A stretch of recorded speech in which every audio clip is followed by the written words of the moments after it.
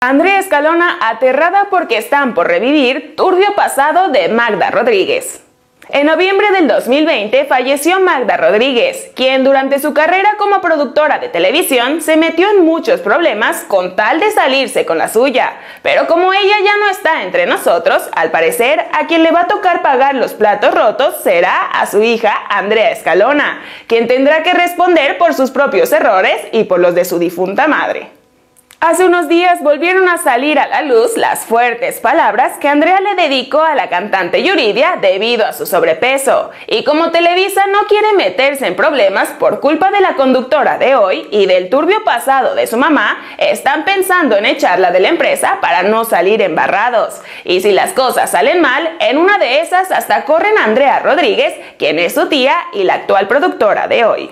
Además de Yuridia, varios exalumnos de la academia han salido a decir de qué pie cogen las televisoras. Y uno de los que más polémica está despertando es Daniel Riolobos, porque en los últimos días se ha dedicado a atacar primero a Patti Chapoy, después a Andrés Calona y a su mamá Magda Rodríguez y de paso a Gustavo Adolfo Infante, quien con tal de no meterse en más problemas con la Chapoy, prefirió darle la espalda a Riolobos y hacer como que no lo conoce. Magda Rodríguez fue una destacada productora de la televisión que hizo casi toda su carrera en TV Azteca y entre los programas que tuvo a su cargo se encuentran Con sello de mujer, Enamorándonos las primeras cuatro temporadas de la Academia y en los últimos años de vida produjo El Matutino Hoy.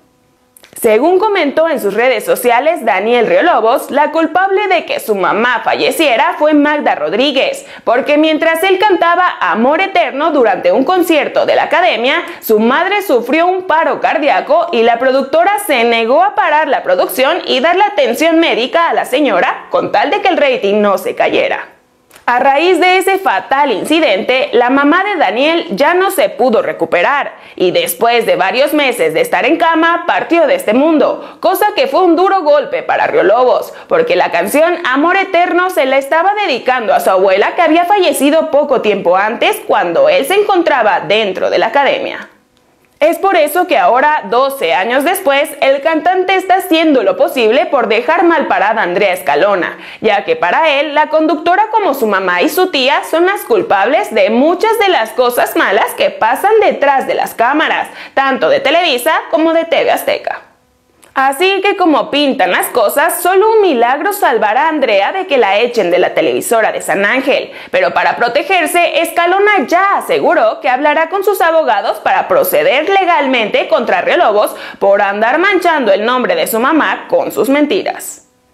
Porque obviamente Andrea asegura que Magda era una de las personas más buenas del mundo y que si algo tenía era un gran corazón, por lo que no está dispuesta a que se hable mal de ella, así que entre que son peras o son manzanas, a la conductora no le queda de otra más que poner cara de inocente y esperar a que los ejecutivos de Televisa decidan cuál será su futuro. A la polémica desatada por las declaraciones fuera de lugar de varios periodistas dedicados a dar chismes de la farándula, todavía le falta mucho para que se acabe. Así que por el momento no nos queda de otra más que esperar para ver quién o quiénes serán puestos de patita en la calle por hablar de más. Y una de las más perjudicadas puede ser Andrea Escalona, que según dicen, la única razón por la que tiene trabajo en Televisa es porque su mamá se aferró a contratarla y no por su talento. Déjanos tus comentarios y nos vemos en el próximo borlote.